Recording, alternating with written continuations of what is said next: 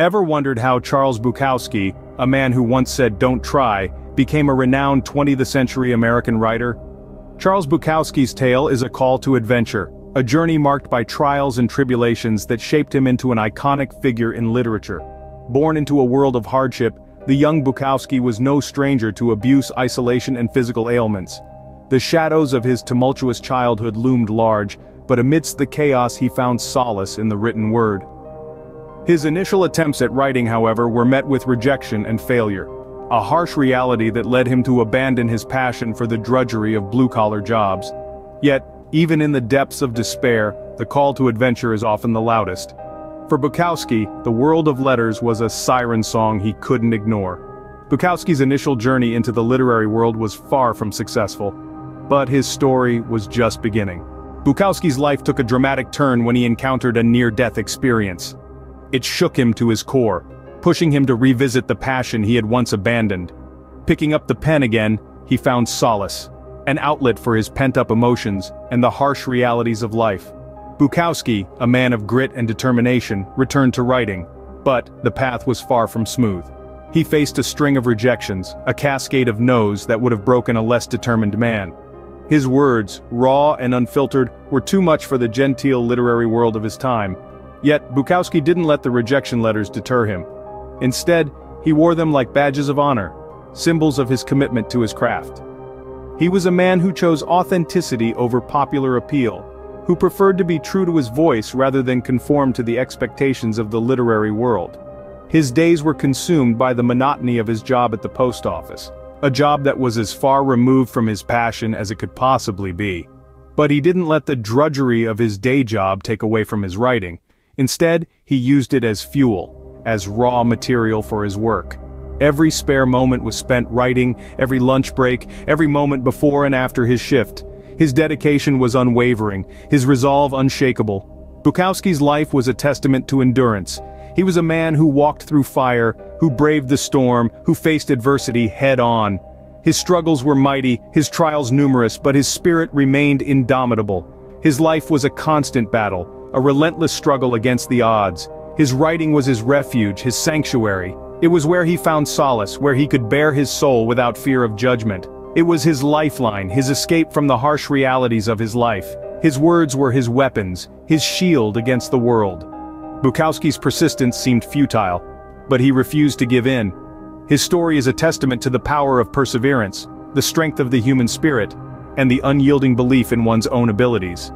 His life, a journey of trials and crisis, is a testament to the power of passion and the relentless pursuit of one's dreams. At the age of 50, Bukowski's life took a surprising turn. As the calendar pages fluttered by, Bukowski, the man who had for so long been a stranger to recognition, began to see the world take notice of his work. This was the time when Bukowski's relentless dedication to his craft began to pay off.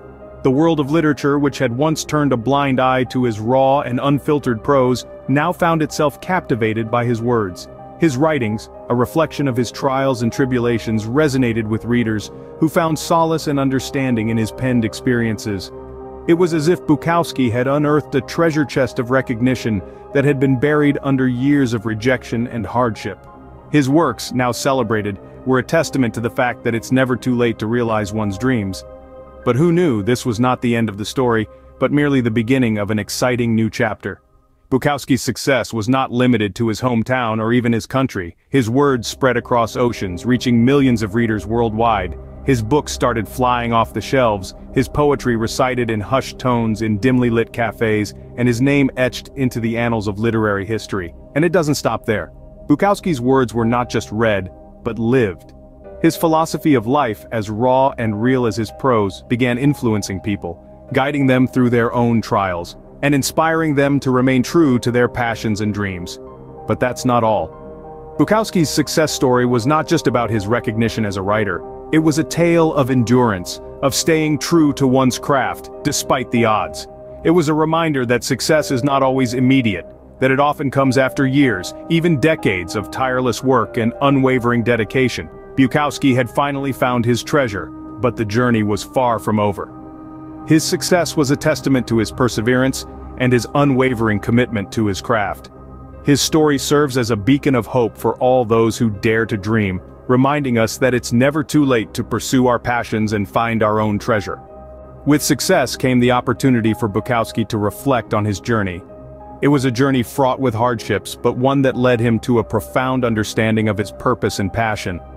Now, basking in the glow of recognition, he found himself in a position to impart wisdom and inspire others with his life's philosophy. Bukowski's philosophy was rooted in authenticity. He believed that the true essence of a person is revealed when they are not trying to be something else, when they are not bending to societal pressures or trying to fit into a mold. Be yourself, he would say, and let the world adjust. He emphasized that this authenticity should be mirrored in one's creative endeavors. To him, writing was not about producing bestsellers or winning accolades, it was about being true to oneself, about pouring one's soul onto the page. He believed that when one writes from the heart with honesty and raw emotion, the words resonate with the reader on a deeper, more meaningful level. Perhaps the most iconic representation of Bukowski's philosophy is etched on his gravestone, Don't Try. At first glance it might seem like a counsel of despair, a call to give up. But delve deeper, and you'll realize it's a profound statement about passion and purpose. Bukowski believed that if you're truly passionate about something, you shouldn't have to try or force yourself to do it. It should come naturally, like breathing. Bukowski's new life was marked by a profound understanding of his purpose and passion. He had found his calling in the written word, in the power of raw, unfiltered emotion to connect with readers. He had discovered that success is not measured in accolades or recognition, but in the ability to stay true to oneself and one's craft through the trials and tribulations of life. And so Bukowski returned to the world not as the struggling writer or the post office worker, but as a beacon of authenticity and dedication.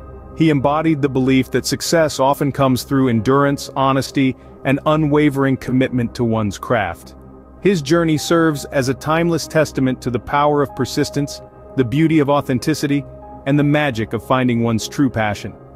Bukowski's new life was marked by a profound understanding of his purpose and passion.